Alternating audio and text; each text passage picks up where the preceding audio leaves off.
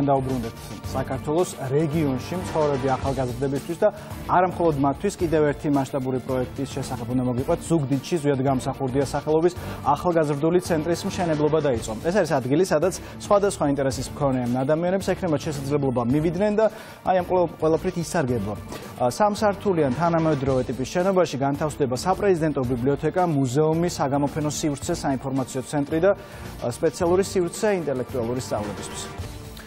შენობა 2024 წელს დასრულდება, ამის შემდეგ კი ცენტრი თანამედროვე ტექნოლოგიით აღიჭურება. პროექტის ღირებულება დაახლოებით 18 მილიონი ლარია. სვიად გამსახურდია სახელობის ახალგაზრდულ ცენტრს რეგიონული განვითარებისა და ინფრასტრუქტურის სამინისტროს მუნიციპალური განვითარების ფონდი აზიის განვითარების ბანკის ფინანსური მხარდაჭერით ახორციელებს.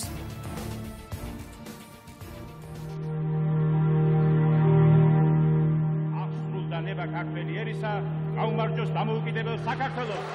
არავდეს მერტი.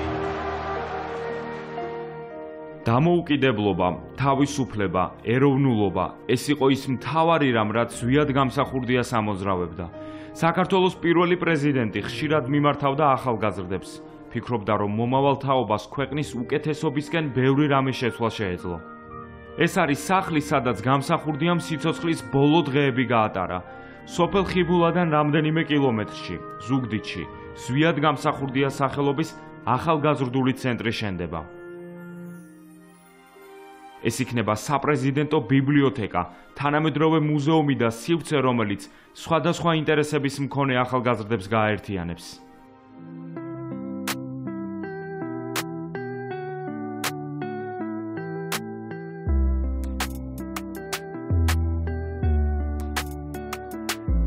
მეორე ნიკოლოზ ჭეშია, ვარ 15 წლის, ცხოვრობს ზუგდიდში.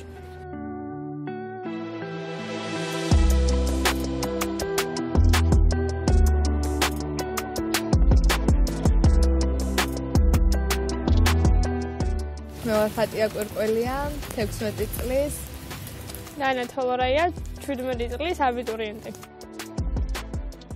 ხატია და ნანა ზუგდიდში ცხოვრობენ. სკოლის მოსწავლეები არიან და უნივერსიტეტში ჩასაბარებლად ემზადებიან. ყოველი დღე დატვირთულია. სწავლას დიდ დროს უთმობენ.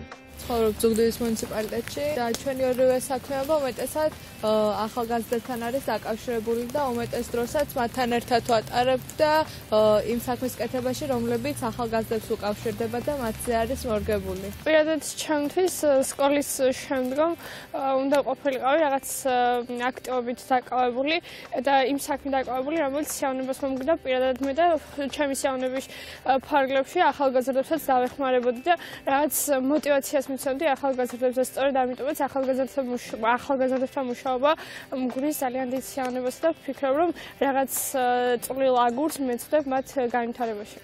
უნივერსიტეტისთვის ნიკა ჯერ არ ემზადება, 15 წლის არის, თუმცა მისი ყოველდღიური რეჟიმიც დატვირთულია.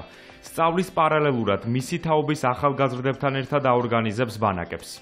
ჩემი ჰობი არის რაც მომდა სკეიტბორდით კატაობა, არცობა, სწავლობ და ვარ სკაუტი.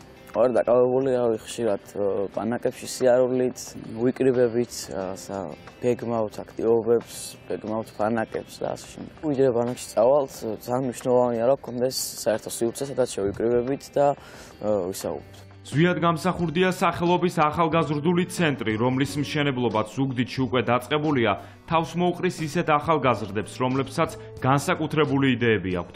შენდება თანამედროვე სივრცე, რომელიც ადგილობრივ მოსახლეობას მისცემს განვითარების, იდეების დამუშავების და სიახლეების დანერგვის მეტ საშუალებას. სახელი, რა თქმა უნდა, შეირჩა იმისთვის, რომ შინაარსი იყოს და ჩვენი ქვეყნის პირველი პრეზიდენტის შესახებ ინფორმაცია იყოს ერთ ადგილში თავმოყრილი, სადაც შეძლებს მოსახლეობა გასწრებას ამ ისტორიის, მაგრამ დაემატა მულტიფუნქციური სივრცე. მულტიფუნქციური სივრცე პირველ რიგში შეერჩა ადგილი, რომელიც ურბანულ წიაღში ზუგდიდში ძალიან ლამაზად ჩაჯდა, ჯვარებინა ფორმის შენობა, რომელსაც ოთხივე მხრიდან აქვს ის საინტერესო ხედი, რომელიც ყველა ზუგდიდას და ქართლს ძალიან უყვარს, ეს არის დადიანების პარკი, დადიანების სასახლე.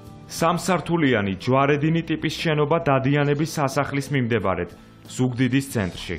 საერთო ჯამში 1000 კვადრატულ მეტრ შენობაში განთავსდება სამკითხველო დარბაზი, ბიბლიოთეკა, საგამოფენო სივრცე, საინფორმაციო ცენტრი და სპეციალური სივრცე ინტერაქციული სწავლებისთვის. ახალგაზრდების ასე ვთქვათ, ყველაზე მთავარი მოთხოვნა ის არის, რომ ჰქონდეთ სივრცე, სადაც თავისუფალ დროს შეძლებენ მისვლას, განტვირთვას, ან თუდაც რაიმეზე მუშაობას, არა მხოლოდ ინდივიდუალურად, არამედ მეგობრებთან ერთად და სამწუხაროდ აქამდე არ არის ჯერჯერობით ამის შესაძლებლობა, მსგავსი თავშეყრისა და განტვირთვის, მუშაობის ძალიან დიდი მოტივაციის მომცემი იყო, როდესაც გავიგე, რომ ახალგაზრდული ცენტრი შენდებოდა ზუგდიდში. ეს ცენტრი ძალიან დიდ როლს შეასრულებს, რადგან სხვადასხვა ტრენინგ კურსები ჩატარდება, თავის თავისუფალი შეხვედრები იქნება, სადაც მეგობრებთან ერთად შეძლებენ საინტერესო და მრავალფეროვან თემებზე საუბარს. ამეტავდა ზუგდიდში გვაქვს ერთადერთი ბიბლიოთეკა, სადაც მხოლოდ იქ შეგვიძლია სიარული და ну, ასე ვთქვათ, მეორე ბიბლიოთეკაც გვჭირდება. ზუგდიდში ეს ძალიან მნიშვნელოვანია, იმიტომ რომ იქნება აზრთა გაცვლა, იქნება საუბარი, დისკუსია. შენებლობა რამდენიმე თვის წინ დაიწყო.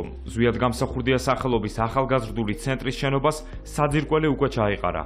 ახლა პირველი სართულის სამშენებლო სამუშაოები მიმდინარეობს. ეს კომორეობით კონტრაქტის ღირებულება 18 მილიონ 124000 ლარია. 2022-ის სექტემბერში გაფონდა სამშენებლო კონტრაქტი, სამშენებლო პროცესი მიუხედავად იმისა, რომ ზამთრის პერიოდი დაგვემთხვა, მაინც აქტიურად მიმდინარეობს. შეიძლება გითხრათ, რომ სადღაც 20-25%-მდე სამშენებლო ნაწილში უკვე შესრულებულია. უფრო მარტივიანით რო აუხსნა მიწის ქვეშა სამუშაოები დასრულებულია და მიწის ზედა სამუშაოებზე ვართ გადასული პირველი სართულის ფილის მოწყობაზე.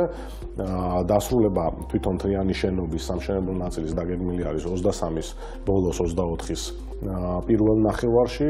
ზვიად გამსახურდია სახელობის ახალგაზრდული ცენტრი მშენებლობის დასრულების შემდეგ თანამედროვე ტექნოლოგიებით აღიჭურვება. ცენტრს რეგიონული განვითარებისა და ინფრასტრუქტურის სამინისტროს მუნიციპალური განვითარების ფონდი, აზიის განვითარების ბანკის ფინანსური მხარდაჭერით ახორციელებს.